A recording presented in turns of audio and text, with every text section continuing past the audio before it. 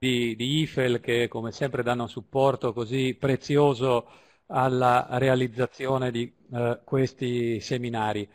Um, il ringraziamento ovviamente si allarga a, a, tutto il gruppo di lavoro di, del progetto Metropoli Strategiche,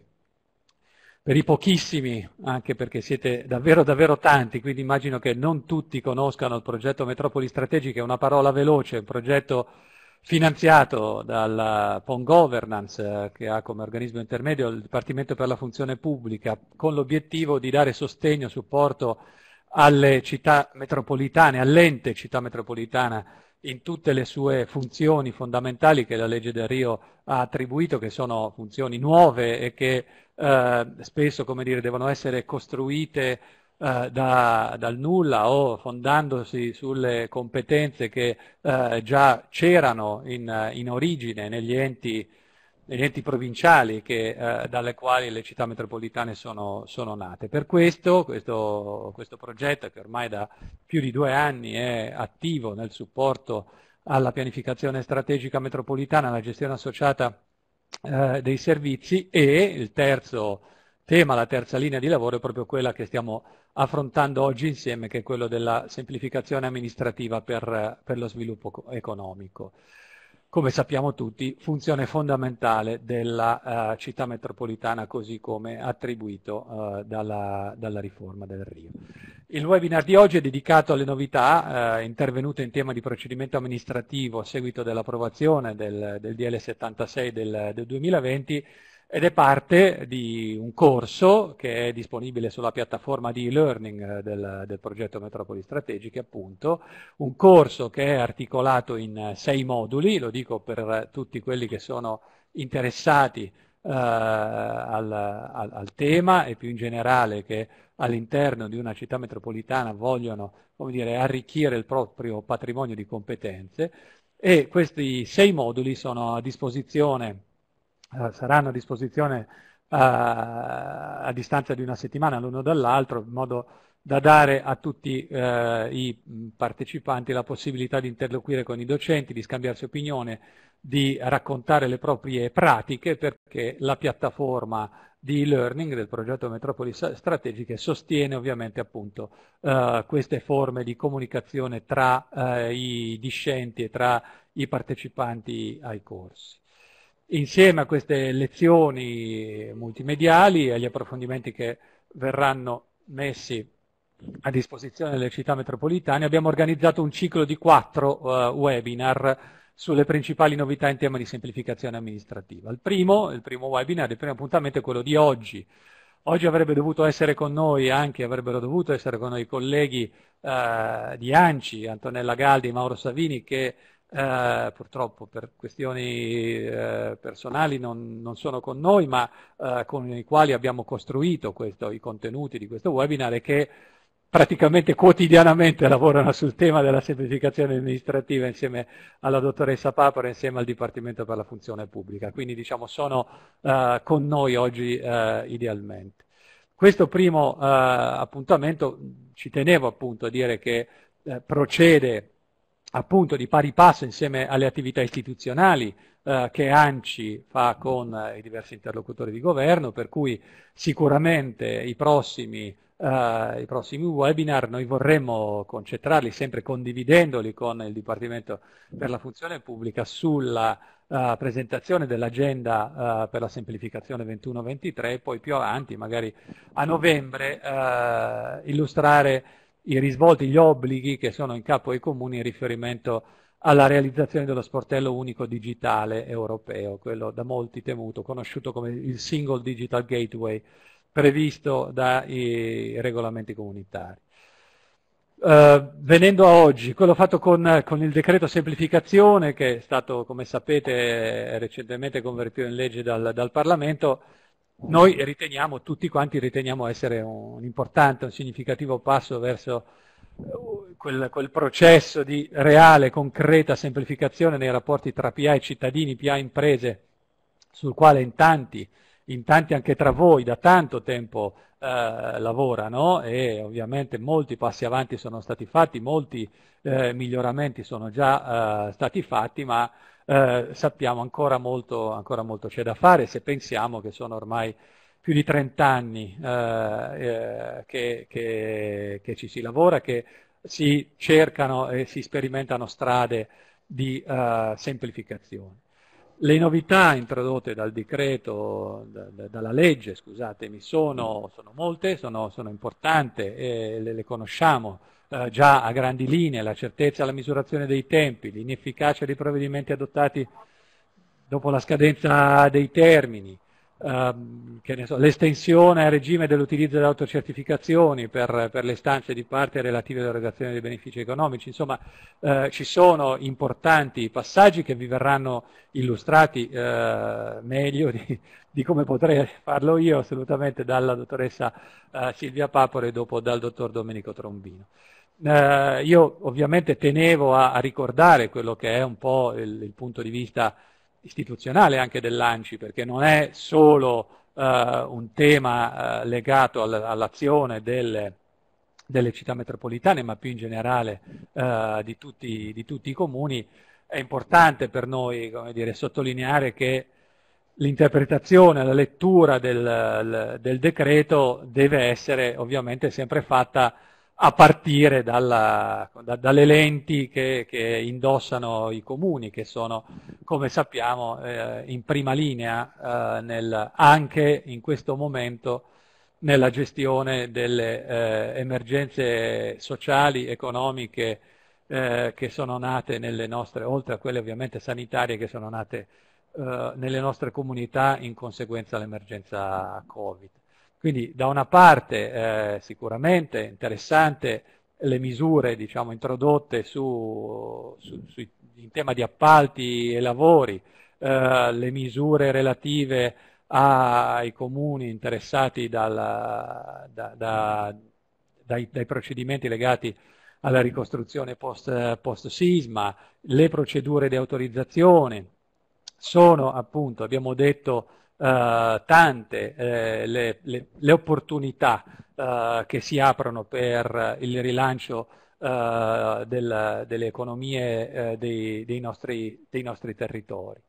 Sicuramente, appunto, in questo senso, come ho detto, i comuni che sono in prima fila e, e hanno tutto l'interesse, non sono certo dire, interessati a ostacolare la semplificazione, ma anzi eh, io credo si possa testimoniare come molte delle eh, diverse delle, delle, misure di semplificazione che sono anche presenti eh, nel decre- nella, nel, nella, legge eh, anche, dire, vengono anche da istanze eh, nate all'interno dei comuni proposte, proposte dall'ANCI. Dall'altra parte sappiamo tutti però che queste novità poi per essere, per essere efficaci devono anche incontrare una, un contesto organizzativo, un contesto regolativo eh, che metta in grado eh, i comuni di operare eh, in modo positivo nei confronti delle, delle, imprese e dei cittadini. Per cui, eh, ad esempio, io, un esempio così che, che, che possiamo fare che ancora eh, dire, richiede passaggi ulteriori e eh, uno sforzo che credo possa trovare tutti concordi è quello della possibilità eh, per i comuni di accedere a, a, banche date, eh, a banche dati pubbliche a titolo non oneroso, ad esempio, a poter attivare eh, più strette collaborazioni con gli enti terzi, soprattutto quelli statali che intervengono sul procedimento unico e quindi insomma, la possibilità, la capacità di agire eh, con, eh, con i controlli. Sicuramente, e vado, e vado, a chiudere, sono tutti aspetti questi eh, dire, che, hanno, che, necessitano una, un, una, una, un, accordo, una concordanza di, di visione tra comuni e, e, governo, ma su questo mi sento di dire che si sta lavorando da tempo in modo dire, concorde. Ma eh, sappiamo come poi queste previsioni necessitino anche di interventi, di risorse per consentire a tutti di essere, di essere applicati. Uh, gli aspetti che io ho accennato, a cui ANCI da tempo dire, tiene eh, e, e, che riconosce come prioritari sono sicuramente diciamo, già a conoscenza del governo, della funzione pubblica e, e sono priorità che eh, riteniamo debbano trovare posto nella, nella, futura, nella futura agenda anche in previsione dell'assoluta necessità uh, di procedure semplificate che avremo nel momento in cui i comuni, ma non solo i comuni ovviamente, ma i comuni come terminale, ancora una volta come terminale territoriale, come terminale di uh, comunità, dovranno uh, agire per realizzare le azioni previste dal, dal, Recovery Fund. In questo senso noi sappiamo che appunto c'è un lavoro in corso dell'ANCI importante di condivisione eh, con le città metropolitane, con le città dei possibili interventi da inserire nel recovery per la trasformazione urbana, per la trasformazione economico-sociale del, degli agglomerati urbani e quindi sappiamo che eh, la richiesta che ci fa il recovery è quella di interventi tempestivi, veloci, che si chiudano eh, entro il 2026 e se non agiamo in un contesto di regole semplici, semplificate, che consentano a comuni e imprese di lavorare eh, velocemente, tempestivamente, eh, rischiamo dire, di fallire un obiettivo che eh, probabilmente perdere un'occasione che è eh, eh, forse unica nella storia del, del, nostro Paese. Io lascio adesso la parola alla collega Rosalba Picerno che eh, modererà, modererà, nel senso passa la parola ai, ai relatori, eh, saluto tutti quanti, auguro un buon lavoro, saluto e ringrazio eh, il dottor Trombino per la disponibilità, ma soprattutto saluto e ringrazio Silvia Paparo con la quale è sempre un, un piacere lavorare anche dire, su uh, questioni che sappiamo tutti essere dire, così a cuore uh, dei nostri dirigenti e funzionari comunali. Buon lavoro a tutti e buona giornata. Grazie Paolo, benvenuti, benvenuti a tutti e grazie di aver aderito a questa eh, prima iniziativa eh, di una serie di webinar di cui ha già parlato Paolo. Prima di cedere la parola alla dottoressa Paparo, una piccola indicazione sull'agenda dei lavori di questo primo webinar. Abbiamo pensato di dedicare mezz'ora a ciascun relatore, all'intervento di ciascun relatore per ritagliarci nella parte finale del webinar una ventina di minuti, una mezz'ora per rispondere alle domande, cercando appunto di fare una selezione delle più rilevanti, per rispondere alle domande che vorrete porci appunto nella, nella chat. E detto questo cedo appunto la parola alla dottoressa Silvia Paparo, che è responsabile dell'Ufficio per la semplificazione e la sburocratizzazione del DFP,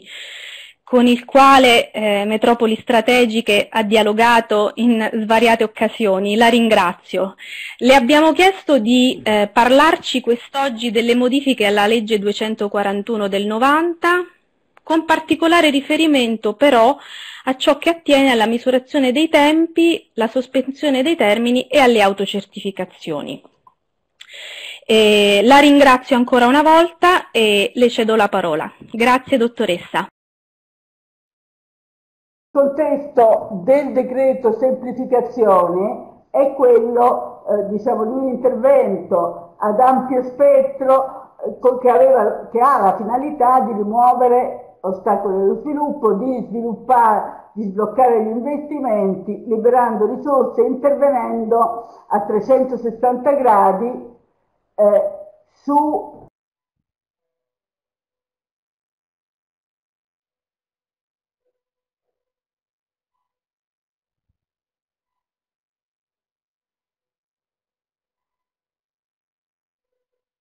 eh, eh, in diversi settori, edilizia, appalti, infrastrutture, banda ultralarga, procedure ambientali e rinnovabili. Nello stesso tempo, antimafia, nello stesso tempo il decreto contiene misure di carattere trasversale a tutte le procedure e diciamo misure eh, di eh, eh, digitalizzazione.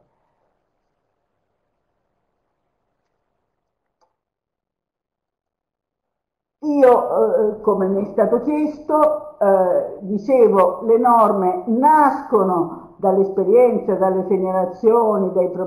diciamo, eh, che vengono eh, dalle, dalle, dalle, dalle realtà territoriali, dai comuni e dalle regioni, e, eh, ma il vero momento della verità di una norma è quello della sua attuazione. La scelta, eh, io volevo innanzitutto premettere eh, che le norme sul procedimento amministrativo, eh, diciamo, i piccoli interventi di modifica che trovate nel decreto legge avevano la finalità di realizzare piccole manutenzioni, non di rimettere, di cambiare per l'ennesima volta la disciplina della conferenza di servizi eh, o la disciplina della SCIA e via dicendo, ma semplicemente di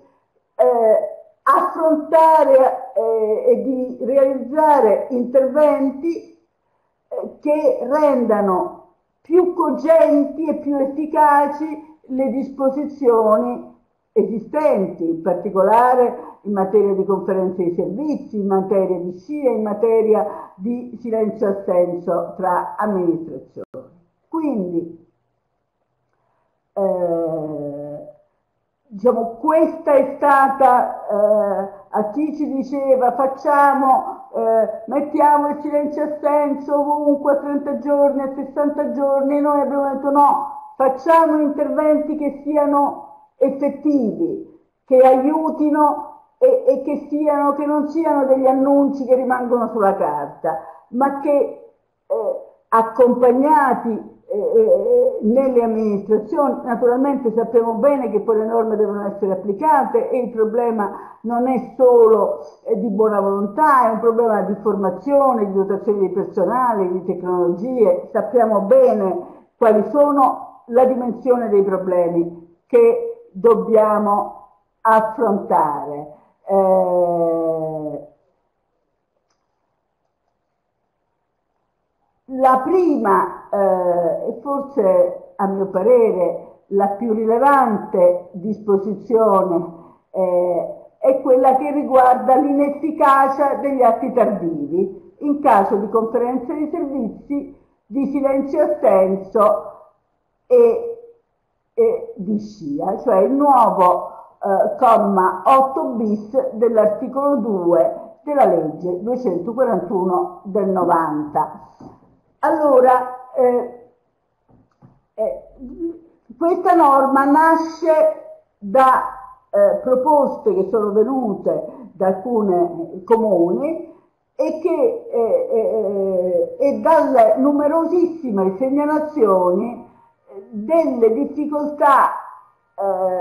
connesse al ritardo nell'adozione dei provvedimenti da parte degli enti terzi o anche da situazioni paradossali in cui le conferenze di servizi, ci si trovava nelle conferenze di servizi, e cioè il responsabile del procedimento, dopo aver chiuso la conferenza di servizi, con un silenzio assenso da parte eh, di questa o di eh, o l'altra, eh, di, una, di, una, o più amministrazioni, si trovavano poi di, di fronte al diniego tardivo. Eh, naturalmente, eh, con tutti i problemi che ne derivavano, è ovvio eh, che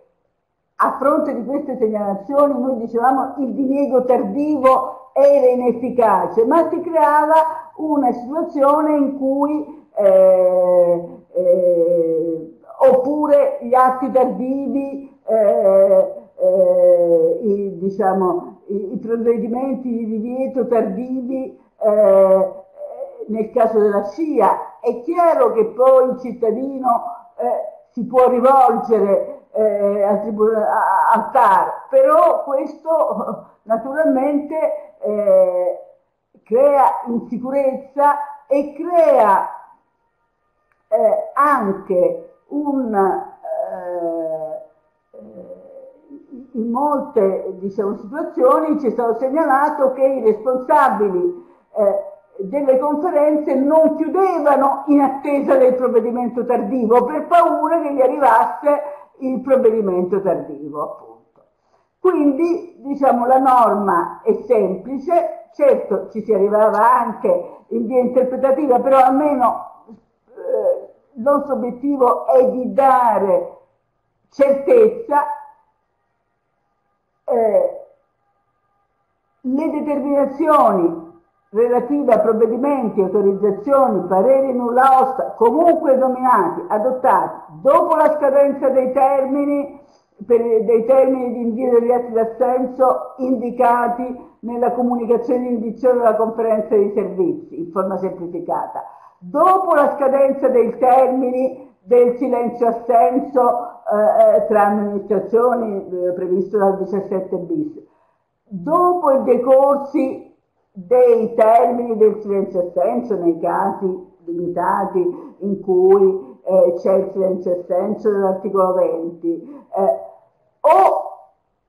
successivamente all'ultima riunione della conferenza simultanea sono comunque inefficaci. Analoga inefficacia eh, eh, analogamente sono inefficaci i provvedimenti di divieto e di prosecuzione delle attività di rimozione degli effetti dannosi adottati decorsi i termini degli eh, articoli 19 bis, comma 3, eh, cioè i 60 giorni, e comma 6 bis, i 30 giorni dell'edilizia. Nel caso dell'articolo, anche dell'articolo eh, 19, la norma è chiarissima, già oggi eh, i provvedimenti di divieto vanno eh, eh, adottati nei termini. Ferma restando, però diciamo, per completezza eh, diciamo, abbiamo eh, voluto eh, rendere chiara diciamo, eh, questa disposizione, è evidente che resta fermo l'intervento in autotutela quando ne ricorrono le condizioni, ma questo eh, è, è, sempre così. Va detto anche, diciamo, nel caso eh, della SCIA, eh, penso alla scienizia che ha dei termini particolarmente eh, eh, stringenti eh, rispetto alla scia commerciale eh, e, e, c'è, eh, so bene, una difficoltà a effettuare i controlli eh, nei termini.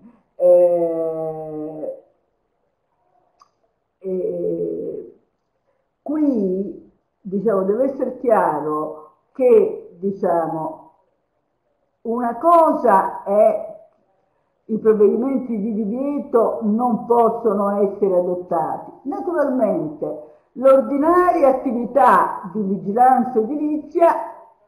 eh, di fronte ad abusi rimane sempre ferma. Come rimane fermo, e questo è importante, eh,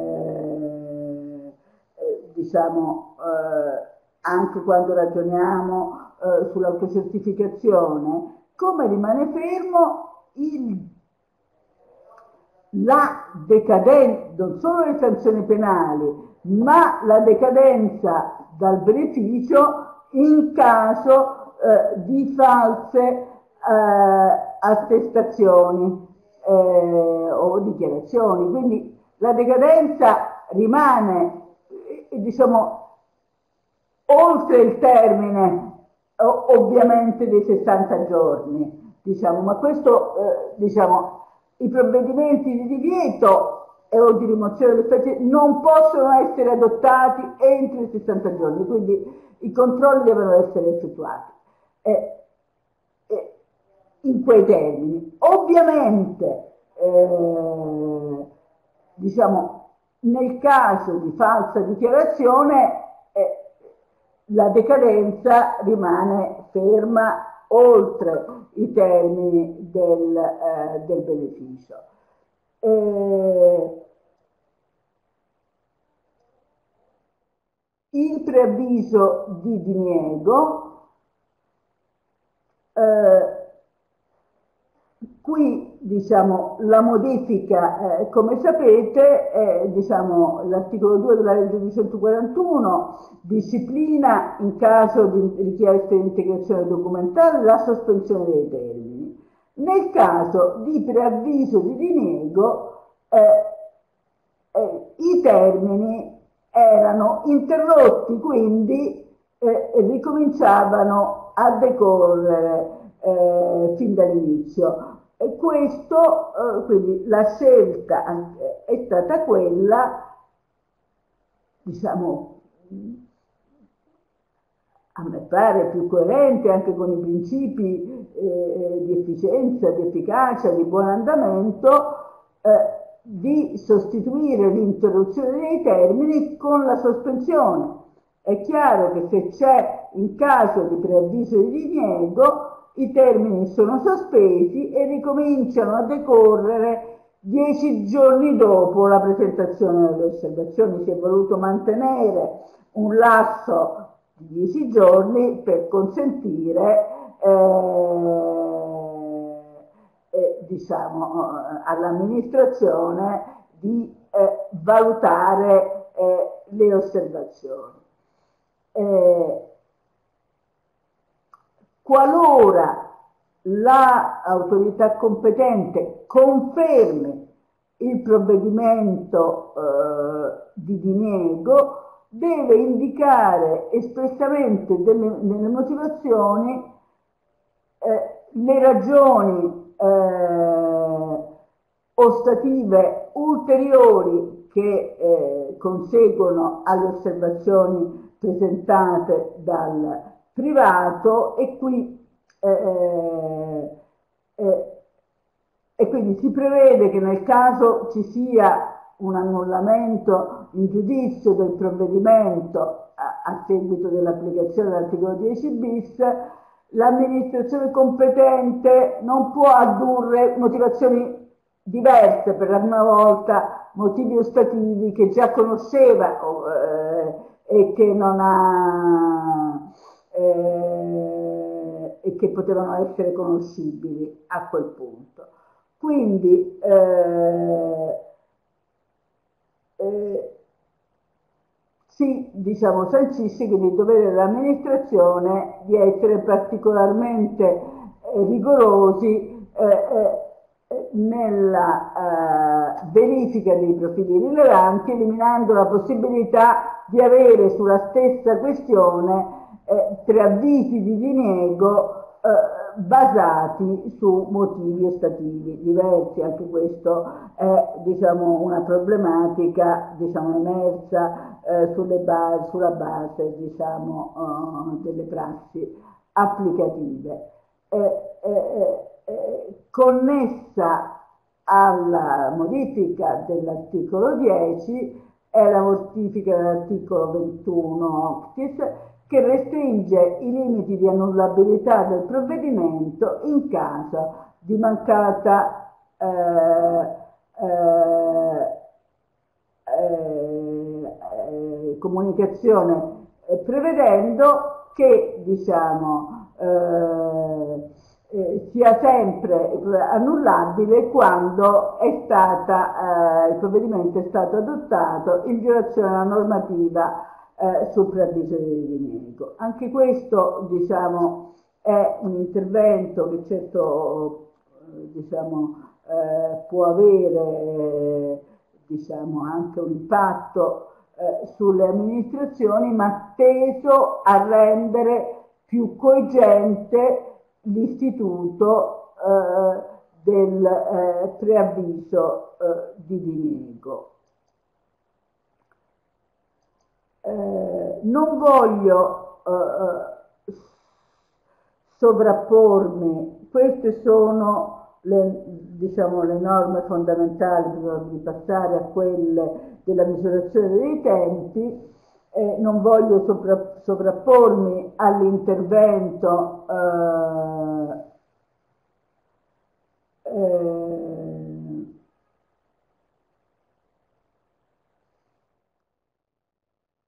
sì, stavo vedendo, scusate le domande, eh, dicevo, eh,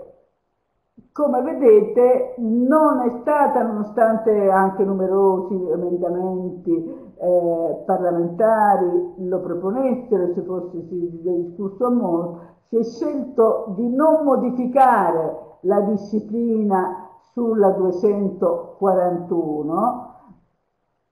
eh, e, diciamo, non, scusate, continuavo a seguire la discussione sulla chat, poi dopo la, tanto la state vedendo anche voi. Eh, dicevo, eh, si è scelto di non intervenire sulla, sulla conferenza dei servizi, quindi di ridurre al minimo le modifiche eh, alla legge sul procedimento eh, e diciamo la eh, norma eh, di, eh, diciamo, è, è, stata prevista una forma di ulteriore accelerazione della procedura della conferenza dei servizi per il periodo dell'emergenza e in via facoltativa. E quindi si è scelto di non modificare ancora perché ogni modifica deve essere ben ponderata, fondata sulla base eh, dell'esperienza. Eh,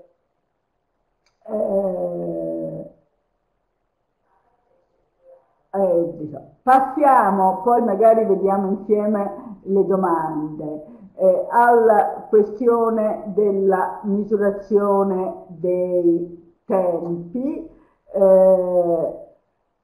allora, come dicevo, eh, eh, come dicevo, eh, scusate, chiedo un attimo. Ah. Eh, ecco, eh, come dicevo, noi siamo partiti eh, dalla eh, eh, diciamo, da una, eh,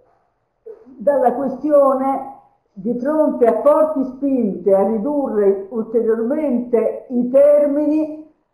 noi abbiamo detto lavoriamo per assicurare i termini attualmente previsti. E, non, e da qui è nata,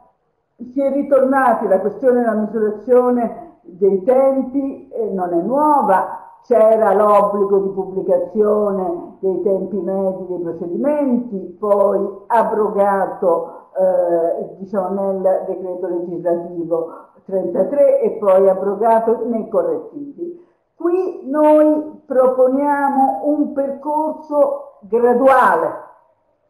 che tenda a appunto garantire, l'obiettivo è quello di garantire l'effettività eh, dei tempi di conclusione dei procedimenti e diciamo eh, la norma dice eh, eh, eh, eh diciamo, fa espressamente riferimento a una categoria che potrebbe sembrare un po' singolare eh, tempi effettivi di conclusione dei procedimenti amministrativi di maggiore impatto per i cittadini e per le imprese. Eh, questo eh, significa eh, perché abbiamo scelto questa locuzione che può essere generica, quali sono, quali sono i criteri, è per dare l'idea che noi vogliamo avviare un processo graduale, selettivo, in cui cominciamo a lavorare sull'effettività dei termini e sulla anche misurazione come strumento di diagnosi. Eh, dei problemi di semplicità, complessità della procedura e anche di individuazione dei problemi da affrontare, organizzativi, eh, carenze di personale, tecnologici, vi ho saltato una C, eh, eh, di rapporto con gli enti terzi. Sappiamo benissimo che molto viene dalla, eh, dagli enti terzi, diciamo da lì. Eh, però, quindi,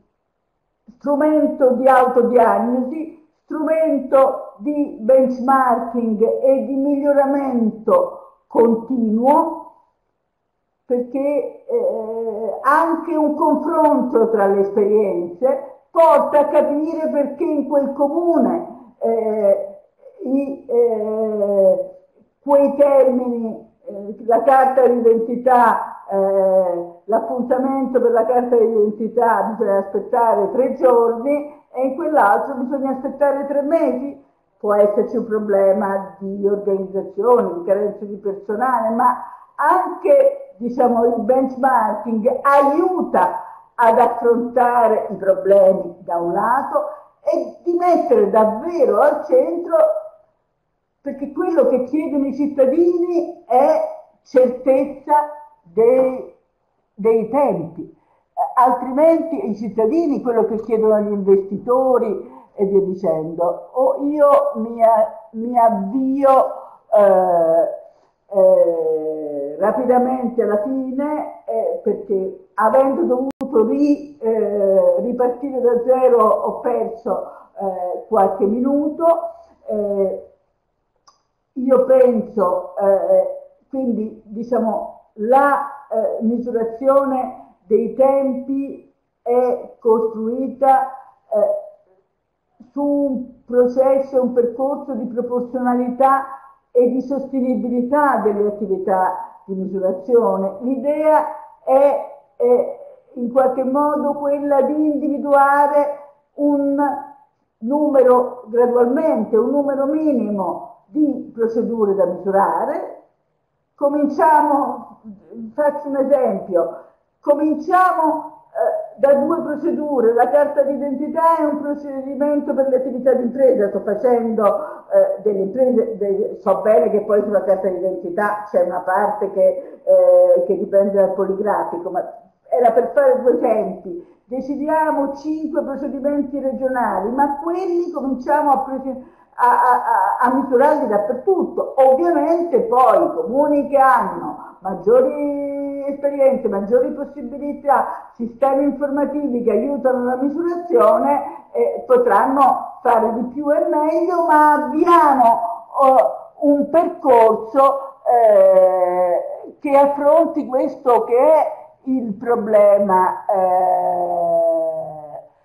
Dobre, dobbiamo costruire insieme le linee guida, quindi dovremmo verificare i criteri per la selezione delle procedure, cosa misurare, avere definizioni comuni eh, e anche le modalità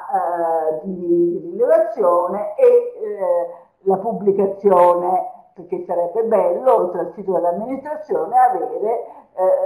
un portale in cui ci sono, eh, come in alcune realtà c'è sul pronto soccorso, ci sono eh, le attese. È chiaro che questo mette in tensione però determina anche un meccanismo anche nel,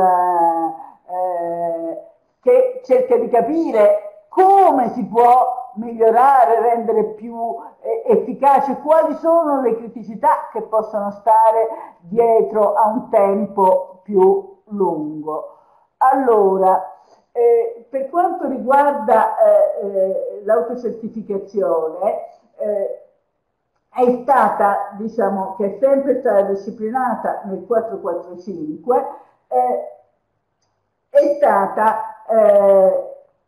inserita pienamente, diciamo, anche questa è una proposta dell'ANCI, a pieno titolo eh, anche nella legge 241, ma nella sostanza non ci sono modifiche eh, della disciplina sostanziale, le modifiche sono state fatte col decreto 264, sono, eh, piccole modifiche, qui trovate eh, alcune. Oh.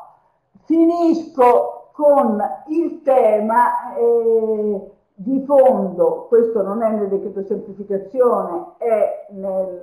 decreto rilancio, è il tema dell'accesso alle banche dati, senza il quale eh, giusti controlli ex post, eccetera, eccetera, ritrovate nel... No. E qui è stata eh, prevista eh, eh una, una, modifica al CAD eh, la eh, previsione degli accordi di fruizione che consentano a migliaia di amministrazioni di accedere agevolmente. Il primo banco di prova è quello della ANPR. Io eh, mi fermo qui perché non voglio eh, eh, tornare, togliere il tempo al collega eh, Trombino. Eh, quindi eh, vi ringrazio dell'attenzione. Eh, sì, e, allora dottoressa, dato il ritardo diciamo, con il quale siamo partiti, insieme, diciamo, le, eh, io darei la parola a Domenico Trombino. Spazio, cerchiamo di eh, capire alla fine dell'intervento del dottor Trombino se ci rimane eh, qualche minuto per rispondere alle domande, anche perché alcune sono molto puntuali e, e riguardano nello specifico il suo intervento. Altrimenti, come mozione d'ordine, facciamo così, noi le domande le raccogliamo, tra qualche giorno le rendiamo disponibili, disponibili in modalità FAC. Questa diciamo è la, la, la, la soluzione che ci rimane sullo sfondo. Io a questo punto do la parola a, eh, al dottor Domenico Trombino del Comune di Firenze, dove è responsabile del coordinamento SUAP, del supporto giuridico e delle sanzioni e per quanto riguarda l'ANCI è membro del gruppo tecnico sulle attività produttive, per cui lavora da anni, segue da anni il tema delle semplificazioni amministrative e lavora con noi ai principali interventi normativi di settore. Io lo ringrazio, gli cedo subito la parola. Grazie, dottor Trombino.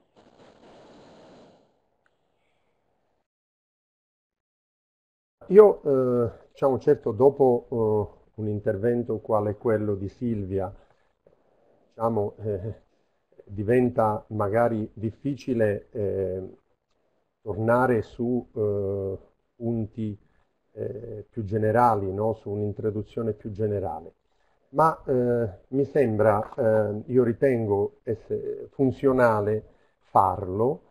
eh, soprattutto in eh, considerazione di quello che eh, penso sia importante, fra l'altro, in questo momento, in un, in un, webinar dove il tempo non è, diciamo, tanto per quanto necessario a un approfondimento delle eh, nuove normative, degli argomenti che andiamo a trattare. Eh, io eh, sono, del, sono dell'avviso, eh, spesso lo faccio anche nel mio lavoro eh, istituzionale ed extra-istituzionale, che eh, sia importante in prima battuta almeno acquisire acquisire delle, delle, delle, avere delle suggestioni, no? acquisire delle suggestioni, capire qual è la volontà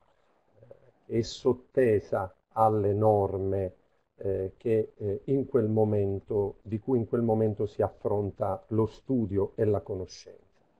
E questo poi è importante, no? questo poi ce lo si ritrova, perché è un po' come farsi all'inizio una eh, piccola cassetta degli attrezzi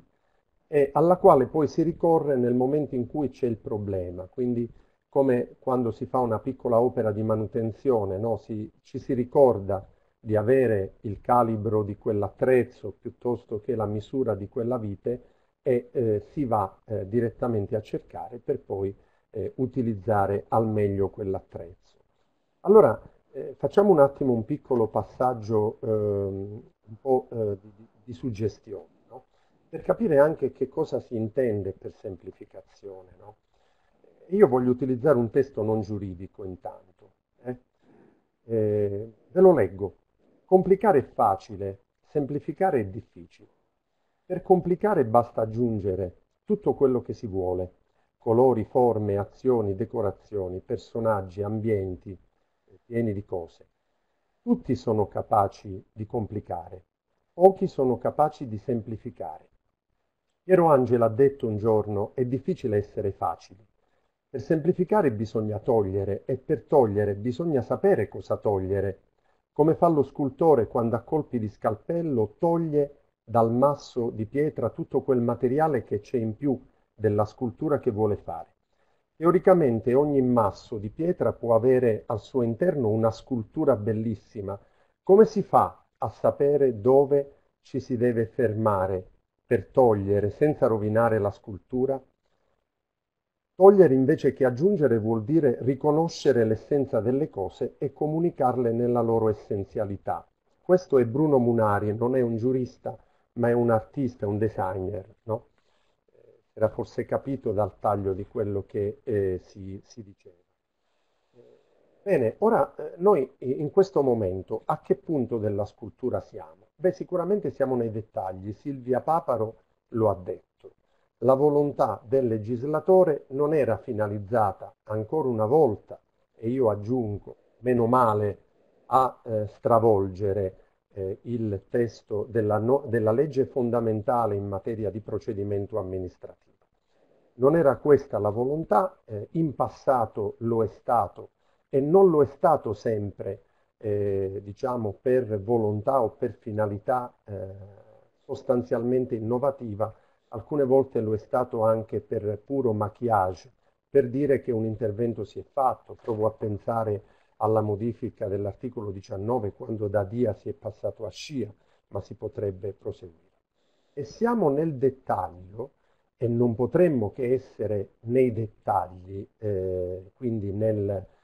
diciamo, nel, nei dettagli della nostra scultura e del nostro, della nostra costruzione normativa, perché come già qualcuno eh, che mi ha preceduto ha detto, eh, per quanto riguarda la semplificazione, noi siamo a decenni e a decenni di lavoro, no? potremmo eh, iniziare dal codice civile del Regno d'Italia, dove era contenuta una norma che permetteva al cittadino di certificare delle circostanze notorie, ma poi c'è stata eh, la legge 823 del 56, c'è stato la legge, il DPR 678 del 57 che ne ha dato applicazione, c'è stata la, la, celeberrima legge 15 del 68 che solo ora, solo ora la citazione di questa legge viene eliminata dal legislatore proprio con il decreto semplificazione dalla, eh, dall'articolo 18 della eh, legge 241 del 90 sostituita dalla, eh, dalla, eh, per l'appunto dal DPR 445 che è il testo unico in materia di documentazione amministrativa. Quindi io ehm, eh, sempre eh, per capire dove si sta andando, no? perché è importante capire prima ancora che la norma dispositiva eh, che cosa, eh, qual è la portata di queste novità, verso, quali sono quelle che io ho chiamato le linee di sviluppo del decreto semplificazione. E io ho provato a riassumerle in questa slide no? individuando dei punti centrali, dei, dei punti principali. Sicuramente le, il decreto semplificazioni, visto come eh, testo di modifica alla 241, sicuramente pone il focus sui tempi del procedimento. Eh, qualcosa ha già detto Silvia Paparo e in questo mi agevola nella esposizione. Quindi monitoraggio dei tempi del procedimento, pubblicità, revisione in riduzione dei tempi del procedimento, inefficacia dei provvedimenti tardivi, ne ha già parlato Silvia Paparo e già questo ha dato la stura a non poche domande da parte de, eh, vostra. Poi un altro filone di sviluppo è sicuramente l'inerzia della pubblica amministrazione che non può gravare su cittadino e impresa. E in questo filone noi andiamo ad, ad attuare, eh, a trovare gli effetti taciti stabiliti dalla legge che non sono sicuramente un optional e questo è direttamente legato a quanto si diceva in ordine al comma 8 bis dell'articolo 2. L'inefficacia dei provvedimenti tardivi, per l'appunto a questo facevo riferimento, la liberatoria per l'amministrazione procedente in caso di ritardo dell'amministrazione competente nel rilasciare atti richiesti, poi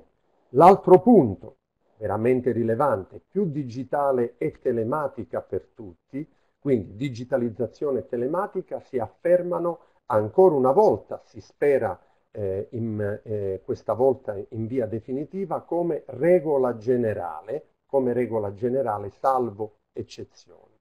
Poi abbiamo le semplificazioni classiche, ampliamento dell'ambito delle autocertificazioni, ne ha parlato già Silvia, e riduzione dei tempi di procedimento. Ritorna a questo punto della riduzione. Ora, quando si parla di semplificazione, noi dobbiamo intenderci, ci sono diverse sfaccettature, diverse nozioni di semplificazioni. Noi qui parliamo di semplificazioni procedimentali senza utilizzare una elugubrazione giuridica molto alta come qualcosa che è causa ed effetto della riduzione, se non anche della rimozione di ciò che variamente rallenta, rende difficoltoso, impedisce l'interlocuzione fra privato e pubblica amministrazione. Deve essere per esempio tenuto comunque distinto da qualcosa che eh, diciamo è eh, dal punto di vista della nozione eh, diciamo eh, un, un, po' diverso che è, quella, eh, che è il concetto di facilitazione eh, che guida diverse fra le novità di questo, di, di questo decreto semplificazioni come quella del domicilio digitale, ad esempio, che è una novità quella di prevedere l'indicazione del domicilio digitale obbligatorio nelle comunicazioni fra PA e cittadino, segnatamente nella comunicazione di avvio del procedimento, una novità, dicevo, che sicuramente non rende più identificabile no? o eh, diciamo né più certo il centro di imputazione e di responsabilità secondo la razio degli articoli 5 e 8 della 241, ma sicuramente ne rende più facile, agevole il, la reperibilità, va bene, li, le, le, e anche l'interlocuzione, se vogliamo. Quindi noi non dobbiamo comunque farci ingannare dall'idea che si parli di eh, semplificazione, eh, si parli di decreto semplificazione perché eh, diciamo eh, in esso c'è semplificazione, ci sono anche in parte liberalizzazioni se vogliamo, no? ma c'è anche parecchia facilitazione. Sicuramente, come diceva Silvia prima, diciamo che in questo momento si è lavorato su, su alcuni dettagli, sulla volontà comunque di rendere più eh, agevole eh, la, l'attuazione di alcune disposizioni della 241, stando a Munari potremmo dire che siamo nei dettagli del viso no? eh, in una scultura, però bisogna stare molto attenti perché in quei punti lì si rischia di far saltare qualche da- dettaglio che fa saltare l'intera scultura. Basti pensare che una scheggia portata al naso della scultura diciamo, ne pregiudica l'interezza e quindi in questo momento eh, quando il legislatore mette mano alla 241 fossa anche per alcuni dettagli, diciamo la preoccupazione c'è e quindi bisogna sempre ehm, eh, diciamo, sperare che questo danno non ci sia. Eh, mh, Silvia ne ha parlato, eh, diciamo che poi la prova attuativa, la prova dell'applicazione sarà importante, sarà fondamentale come in tutte le norme. Eh, facciamo una prima panoramica per capire l'entità della, eh, del, di, di, questo decreto semplificazioni, l'entità degli interventi sulla 241, che non sono pochi anche perché qualcuno rimane fuori dalla stessa modifica della 241, ma sulla 241 incide lo stesso. Sono norme che sono rimaste nel testo del decreto legge 16 luglio 2020 numero 76 come modificato dalla legge di conversione eh, 120 del 2020. Scorriamo eh, rapidamente anche perché questo, questo, schema ci possa aiutare a capire eh, e a tenere presente che, eh, io l'ho evidenziato nell'ultima colonna, alcune disposizioni hanno già vigore, sono già in vigore dal 17-7-2020 perché contenute nel decreto legge, altre invece eh, diciamo, sono vigenti dal 15 settembre scorso eh, del, con la legge eh, di conversione 120-2020. Quindi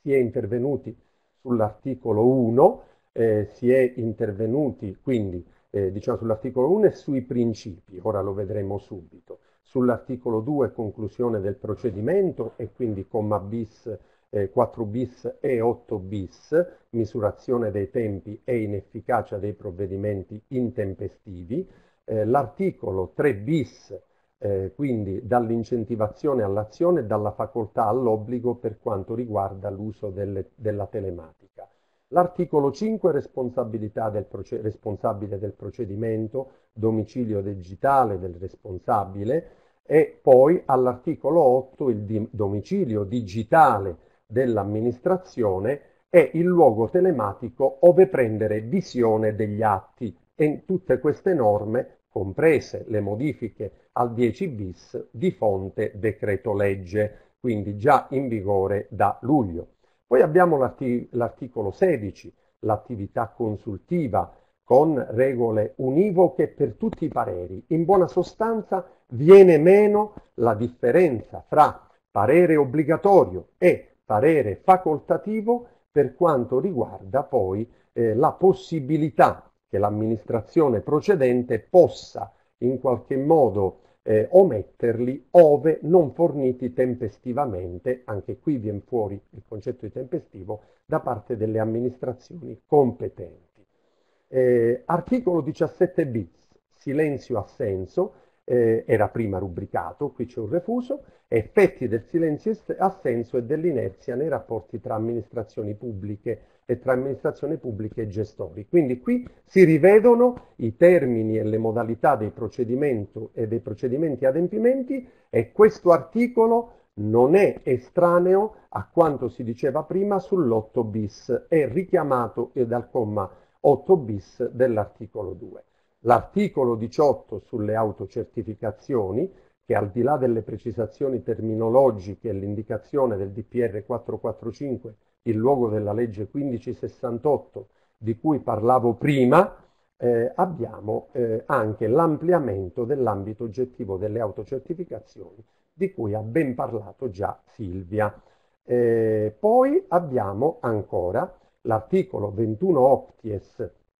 l'annullabilità del provvedimento ed esclusione del provvedimento adottato in violazione dell'articolo 10 bis, mi piacerebbe poter dire rapidamente una cosa in aggiunta a quello già detto da Silvia prima, eh, articolo 21 deces, che è un articolo nuovo riferito ai casi di annullamento in giudizio eh, di un provvedimento che poi deve essere riemesso in materia di autorizzazione e di valutazione di impatto ambientale, questo opera della legge di conversione, e infine l'articolo 29, ambito di applicazione della legge per quanto riguarda la misurazione dei tempi effettivi di conclusione dei procedimenti. Questa è la panoramica, quindi come potete vedere non sono pochi gli interventi, anche se quelli veramente incisivi sono soltanto alcuni. Quindi to vengono toccati i,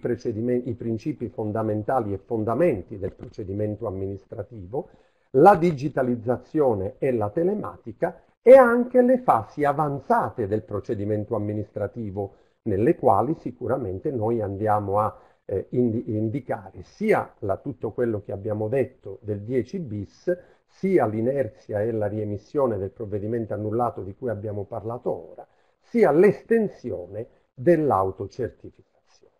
Allora andiamo a vedere un po' nel dettaglio queste novità un pochettino per quello che ci è consentito dal tempo ovviamente nel dettaglio. Questa, la, la prima introduzione riguarda l'articolo 1 che è quello dei principi. Diciamo, l'articolo 1 della 241 è un precipitato dell'articolo 97 della Costituzione della Repubblica,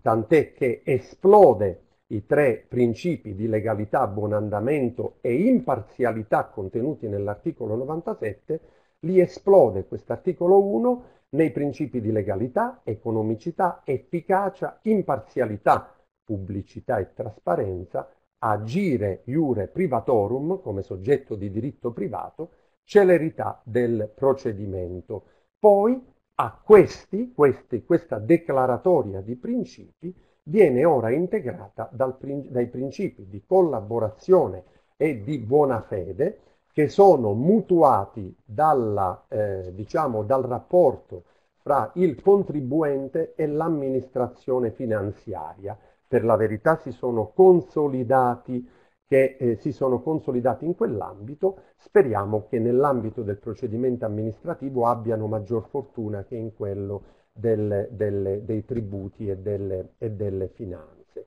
Eh, diciamo che eh, questo, ehm, questa eh, estensione eh, diciamo che è una dichiarazione, quindi eh, di, di, difficile eh, perseguibilità, no? Eh, chiaramente eh, mi verrebbero in mente diversi, diversi esempi, soprattutto nell'ambito sanzionatorio, diciamo, ma diventa difficile rendere coattiva una disposizione di questo genere, è un principio che comunque va a arricchire la declaratoria di quelli dell'articolo dell'articolo 1.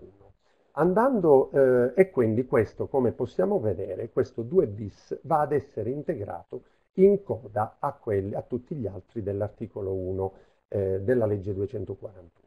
Poi passiamo all'articolo 2, commi, comma 4 bis, tenuto conto anche dell'articolo 29, comma 2 bis, perché eh, entrambi insistono sui tempi effettivi di conclusione del procedimento. Eh, diciamo eh, che deve essere tempi effettivi, badate bene, non si parla di tempi eh, teorici, quindi il monitoraggio va fatto sui tempi effettivi e poi comparato sui tempi previsti dalle normative di riferimento. Ciò poi richiede la pubblicazione in amministrazione trasparente. Ora, come vedremo nel testo della norma, non di tutti i procedimenti, ma dice la norma di quelli di maggiore impatto. Dice la norma quelli di maggiore impatto senza però indicarli, per cui è a questo punto rimesso alle pubbliche amministrazioni con proprio atto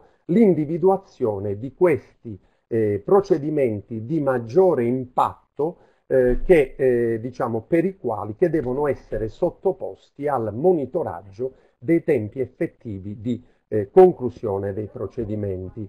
Eh, diciamo che eh, a questa norma è collegata quella dell'articolo 29,2 bis che eh, diciamo, inquadra l'obbligo di misurare i tempi effettivi di conclusione dei procedimenti nelle LEP, cioè a dire i livelli essenziali delle prestazioni di cui all'articolo 117 secondo comma della 241. Quindi qui eh, allora il, eh, la, è questo, l'articolo 29, attengono ai livelli essenziali delle prestazioni insieme a tutti, eh, quindi qui c'è una modifica di quest'articolo, non è di nuova introduzione insieme ad altri, ad altre, eh, diciamo ad altri indicatori eh, di livelli essenziali delle prestazioni che erano già previste nell'articolo 29,2 bis e che possiamo leggere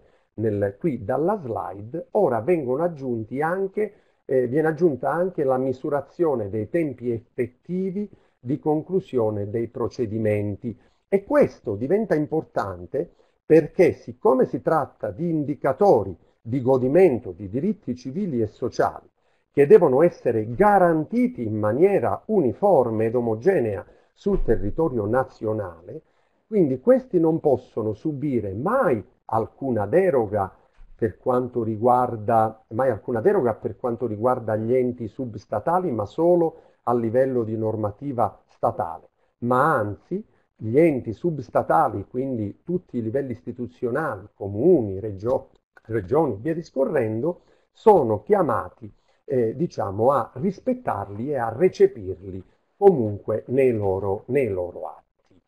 Andando avanti, troviamo qui rappresentata in maniera un pochettino più eh, in maniera plastica la norma eh, a cui faceva riferimento eh, la Silvia eh, che mi ha preceduto, quindi l'articolo 2,8 bis. Io eh, aggiungo poco, diciamo, allora, ma eh, un dato che secondo me per l'interprete è importante. Io ho letto diverse eh, richieste di, eh, diciamo, da parte dei partecipanti circa l'eventuale perché inefficacia, perché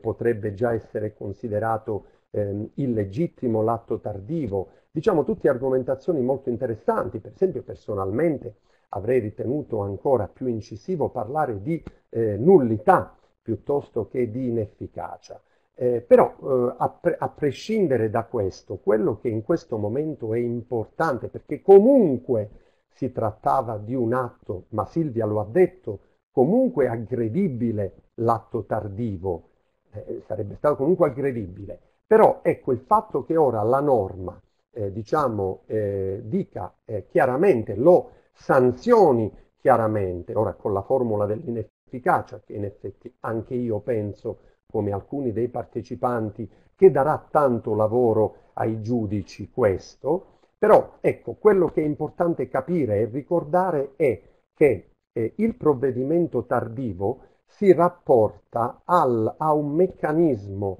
eh, di eh, produzione di effetti taciti che si vengono a produrre allo scadere del tempo. Questo non è per nulla indifferente, anche nell'ottica dell'autotutela, che andrebbe ad incidere ovviamente proprio sull'effetto che si è prodotto eh, tacitamente. Allora, in tutti questi casi che sono indicati, il 14 bis, il 14 ter, l'articolo 20, l'articolo 19 con i propri provvedimenti conformativi ed interdittivi, così come l'articolo 17 bis, di cui abbiamo già eh, fatto cenno prima, diciamo, eh, hanno ciascuno di questi 200, nelle norme, nella 241, quindi eh, negli stessi articoli che li eh, diciamo, contemplano, e lo possiamo vedere nelle, in quelli successivi, nelle slide successive che adesso vi eh, proietterò seppur eh, scorrendo, abbiamo un, eh, la, il prodursi di un effetto tacito, va bene? Per cui allo scadere del termine, eh, allo scadere del termine previsto dalla norma, già si produce l'effetto che la stessa norma indica, che può essere l'effetto di concludere la conferenza di servizi, che può essere eh, l'effetto di eh, considerare, eh, considerare eh, consolidato un eh, divieto oppure consolidato il, il, titolo abilitativo nel caso dell'articolo 20, ove non vi sia stato un tempestivo provvedimento di diniego. Bene, questo bisogna tenere fondamentalmente presente, fermo restando la validità di tutte le, eh, eh, diciamo, eh, i dubbi che possono sorgere sulla entità eh, della inefficacia piuttosto che della nullità dell'atto intempestivo.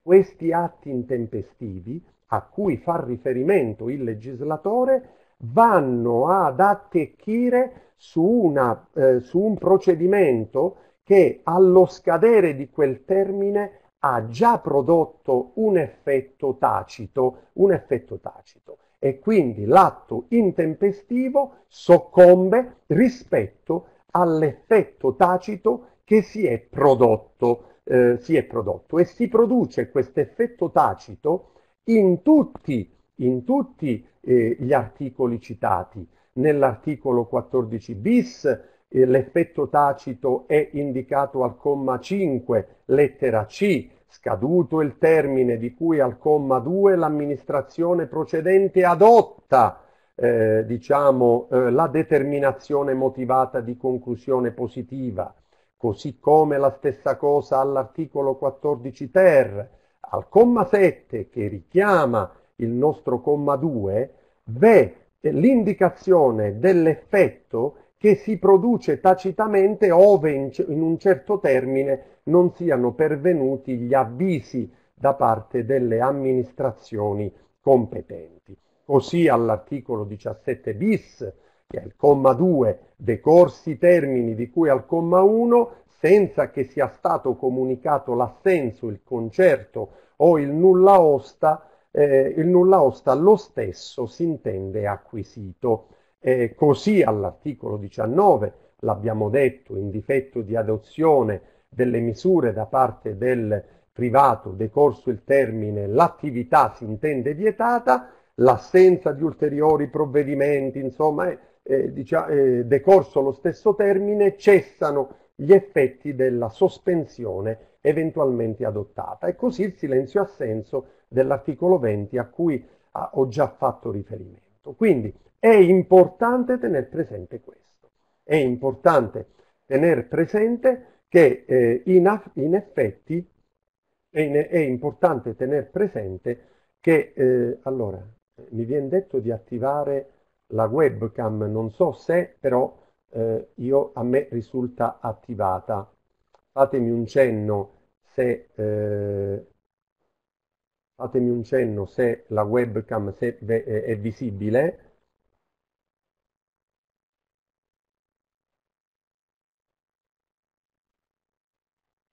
io eh, proseguo, io eh, qui la, la, la, web, la, web, la webcam la vedo comunque attiva. Io, eh, ecco, benissimo, vedo, vedo, dei feedback, quindi proseguo. Allora, parlando di, eh, abbiamo già citato il 14 bis, eh, diciamo il 14 bis, eh, il 14 ter, quindi abbiamo parlato di conferenza di servizi, eh, allora eh, voglio indicare uno di quegli articoli a cui facevo cenno prima, che voi non trovate nella 241 perché ha un'efficacia transitoria, ma rimane nel decreto legge convertito eh, dalla legge 120 e dell'articolo 13 che dà la possibilità entro il 31 dicembre 2021 di eh, indire una conferenza de- decisiva e diciamo che laddove è indetta una conferenza di servizi decisoria è facoltà dell'amministrazione adottare lo strumento della conferenza semplificata. Ve lo richiamo e ve lo segnalo soltanto perché credo eh, di, eh, diciamo, vorrei darvi ulteriori informazioni e quindi vedo che il tempo eh, incalza. Allora vado, vado avanti e passiamo alla fase della digitalizzazione e della telematica nel procedimento amministrativo. E eh, la, la parte eh, diciamo, la norma fondamentale la ritroviamo senz'altro nell'articolo 2,4 bis eh, quindi l'introduzione di, di, questo quarto bis e 4 bis nell'articolo 2. Poi abbiamo l'articolo 29,2 bis. Allora noi si passa dal che l'uso della telematica era soltanto incentivato, si passa a che l'uso della telematica viene reso in un certo senso a direzione obbligatoria. Quindi prima era in un certo senso quasi una facoltà. Allora, quali sono i segnali? Sono proprio quelli della modifica dell'articolo 2, eh, dove, domi- eh, dove deve essere indicato il domicilio digitale del responsabile del procedimento e il domicilio digitale dell'amministrazione. Eh, in più modalità devono essere indicate le modalità telematiche di accesso agli atti. Le norme che sono modificate sono quelle che voi vedete visualizzate. Eh, indicazione operativa. Indicazione operativa. Mi sono già giunte delle richieste eh, anche dagli uffici eh, a cui afferisce il mio eh, per chiedere ma qual è questo domicilio digitale? Cos'è che dobbiamo indicare? Bene, allora eh, un piccolo accenno sotto questo, pro, eh, sotto questo profilo è importante farlo. Allora, allo stato dell'arte, allo stato dell'arte è molto probabile che si disponga della, eh, che si disponga della eh, posta elettronica, dell'indirizzo di posta elettronica certificato, eh, di posta elettronica certificato. Ebbene, a quel punto quello, a questo punto può essere un buon riferimento per ottemperare a quanto ora prevede il eh, decreto, la, la legge 241 come modificata dal decreto. Perché dico un buona, una buona indicazione e non dico la eh, soluzione del caso? Perché? Allora, sicuramente noi qui siamo a una norma, siamo a delle novità molto importanti. Perché? Perché come dicevo dianzi, eh, la eh, telematica, quindi a questo punto la digitalizzazione, quindi si dà una forte spinta ulteriore alla digitalizzazione processo già e alla dematerializzazione degli atti, processo già iniziato da diversi anni. Quindi diciamo che a questo punto il cartaceo viene ad essere veramente residuale, mentre la regola è quella della dematerializzazione, della digitalizzazione della telematica. Perché a questo punto eh, noi eh, diciamo ci troveremmo tutti, noi amministrazioni, a dover valutare qual è effettivamente il domicilio digitale voluto dal legislatore? Perché il nostro ordinamento eh, giuridico diciamo, non è ancora perfettamente adeguato, non è adeguato ancora al regolamento IDAS, che è il regolamento europeo 909 del 2014, che non parla di posta elettronica certificata, ma parla, ma è impostato sul servizio elettronico di recapito certificato, eh, la eh, cosiddetta SERC, quindi non già sulla sulla PEC. Che cosa è avvenuto di seguito all'entrata in vigore di questo regolamento? È avvenuto che eh, è, stato è, stato emanato il decreto legislativo 217 del 2017 che praticamente aveva eh, posto che modificando il CAD e la definizione eh, di eh, domicilio digitale eh, contenuta eh, nell'articolo 1 eh, comma 1, eh, lettera N ter dello stesso CAR, CAR, CAD, codice dell'amministrazione digitale, praticamente ha ehm, posto in alternativa questo eh, servizio elettronico di recapito certificato voluto, dalla, diciamo, voluto dal legislatore europeo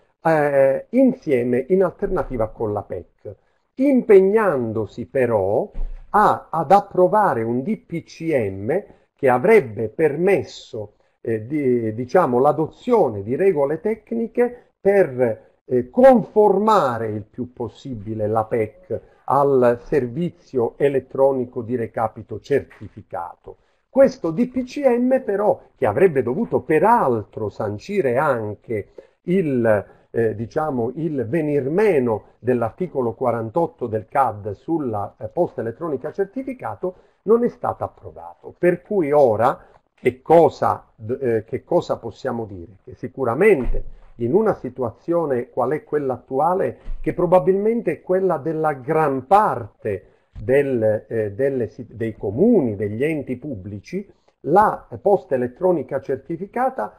può ben essere indicata come, quel, come domicilio digitale. Eh, soprattutto però eh, se eh, iscritta all'indice dei domicili digitali delle pubbliche amministrazioni che sono quelle che quanto previsto dall'articolo 6 ter del codice dell'amministrazione digitale. Quindi, quale può essere il problema che ci si pone? Allora, che molto spesso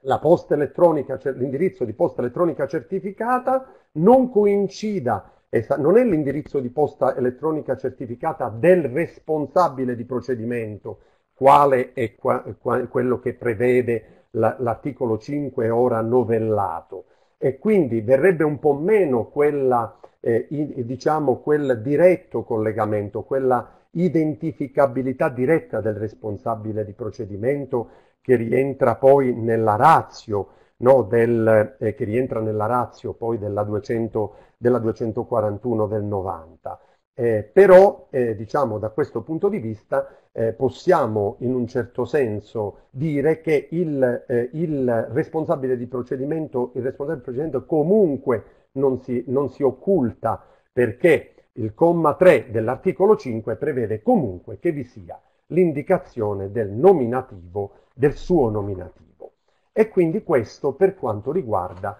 la eh, novità, del, eh, delle, la grossa novità eh, del, eh, riguardo la digitalizzazione e la telematica. Per quanto riguarda l'articolo 10 bis, la eh, dottoressa Paparo ha già, ha già detto, quindi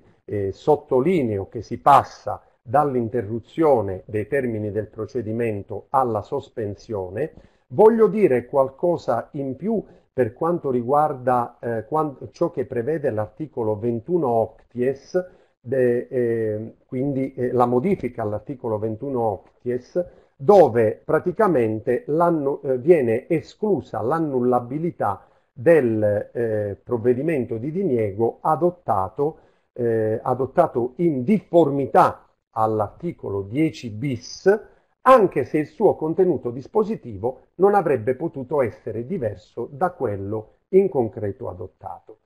Eh, allora, il, il, ehm, praticamente teniamo presente che il legislatore a questo punto eh, il, va eh, in controtendenza rispetto alla giurisprudenza che invece aveva sostenuto un dato più sostanziale che formale quello per cui laddove alla stregua di quanto avviene per la comunicazione di avvio del procedimento, laddove comunque il contenuto dispositivo dell'atto non avrebbe potuto essere diverso da quello in concreto adottato, eh, diciamo, eh, poteva tranquillamente, eh, tranquillamente eh, non prevalere e quindi non essere viziato. Ora si, si, traccia una differenza fra quello che l'articolo 21 Octies continua a prevedere per la comunicazione di avvio e eh, quello che invece è previsto ora eh, dalla, legge, eh, dalla, legge, 241, articolo 21 Octies,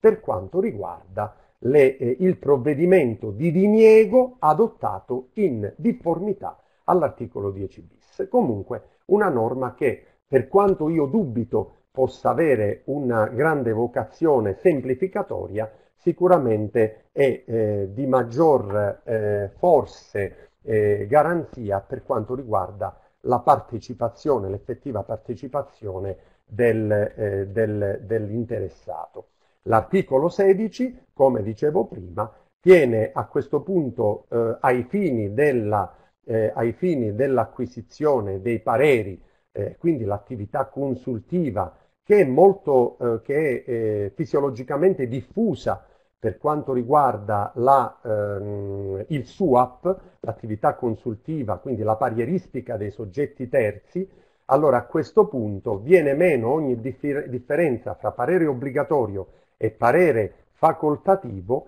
laddove l'organo adito diciamo, eh, diciamo, non abbia eh, espresso il proprio parere, quindi una sorta di liberatoria per l'amministrazione procedente eh, che eh, quindi può per l'appunto eh, procedere prescindendone, sia che si tratti di parere obbligatorio, sia che si tratti di parere facoltativo, perché come potete vedere dalla slide, l'articolo 16 eh, comunque, l'articolo 16 comunque parla ormai soltanto di eh, parere, parla ormai soltanto di parere.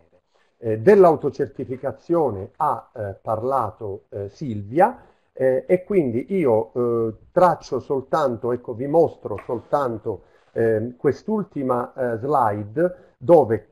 oltre a essere rappresentato l'articolo 17 bis del quale abbiamo già parlato,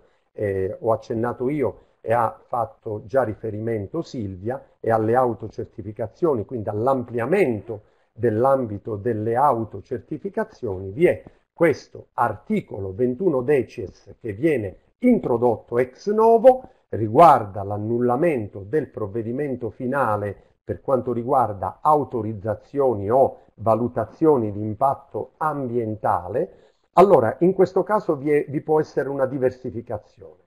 Allora, eh, laddove eh, diciamo, con l'annullamento del pro, eh, diciamo, il provvedimento del giudice eh, eh, diciamo, mirasse, quindi indicasse, perché il giudice, come sapete, non può sostituirsi alla pubblica amministrazione, quindi è richiesto un nuovo intervento della pubblica amministrazione a seguito dell'annullamento del provvedimento. Laddove l'annullamento del provvedimento finale preludesse semplicemente all'integrazione degli atti e dei provvedimenti emessi, allora vi è un mero recepimento delle integrazioni. Invece la cosa più rilevante è quando l'annullamento eh, diciamo, richiede eh, radicali modifiche al progetto con riadozione degli atti annullati. Eh, allora, in questo caso eh, v'è la possibilità di riemettere l'atto, ma con un procedimento semplificati a a termini ridotti. Quindi non si può eh, diciamo, riprendere da capo ex novo, ma eh, bisogna eh, adottare una procedura più semplificata e a termini ridotti. Ora, io spero di essermi abbastanza eh, incastrato con l'informativa perché ho saltato ovviamente le parti che aveva già diffusamente trattato Silvia, spero di essermi incastrato bene con quanto da lei esposta per eh, una completa informativa, la più completa possibile riguardo a queste eh, novità eh, che eh, la 241 del 90 ha eh, diciamo, eh, recepito di seguito a questo decreto semplificazione.